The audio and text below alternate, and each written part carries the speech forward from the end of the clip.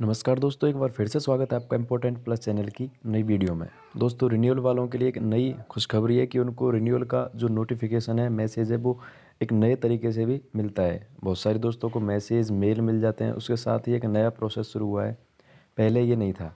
अब पिछले महीने में लास्ट से मतलब आधे नवंबर के बाद और अब दिसंबर में आज शुरू होते ही मैसेज आ गए हैं, जिनके फॉर्म दिसंबर 2019 में अप्रूव हुए थे।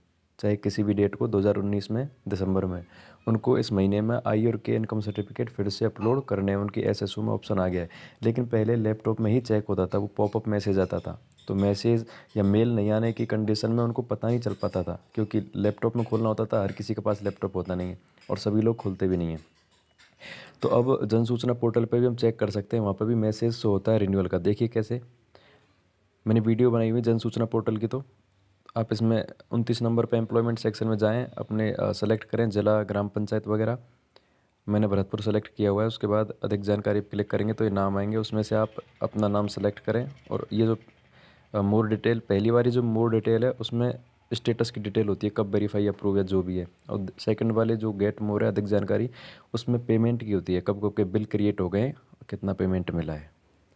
तो देखिए, मैंने खोल, खोला हुआ है पूजा कुमारी। इनका फॉर्म आप देख सकते हैं, इकतीस बारह दो हज़ार उन्नीस को अप्रूव हुआ था। मतलब इकतीस दिसंबर से दो हज़ार उन्नीस से पेमेंट बनना शुरू हो गया था।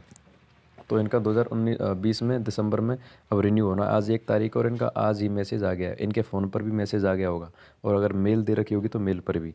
तो आप देख सकते हैं इनको क्या मैसेज आया है। एक बारह दो हज़ार बीस को ये नोटिफिकेशन जन सूचना पोर्टल में।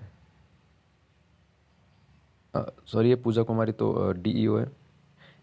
Dear Ravindra Kumar submit certificate for renewal ठीक है? ये देखिए बिफोर दिसंबर इकतीस।